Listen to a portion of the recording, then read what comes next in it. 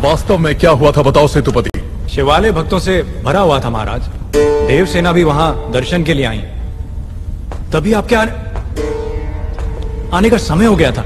तो मैंने उनसे कहा कि वो मुख्य द्वार की जगह दूसरे द्वार से आए। बाहु ये क्या व्यवहार है? तुम पीड़ित को धमका रहे हो। विनती करने से सच बाहर नहीं आएगा महाराज। अपनी हद पार कर रहे हो बाहुबली। एक गर्भवती को बेड़ियों के साथ खड़ा करके ये सभा पहले ही अपनी हद पार कर चुकी है माँ। चाहे गर्भवती हो या वृद्ध तुम हो या मैं न्याय विधान सबके लिए एक है। जानते भी हो क्या हुआ था? क्या हुआ था देवसेना? शिवालय में सभी महिलाओं को एक तरफ़ बुलाया। अंदर भेजने के बहाने वो सब पर हाथ डाल रहा था। मेरे साथ भी वो यही करने वाला था। तो उसकी उंगलियाँ काट दी। गलत किया देवसेना।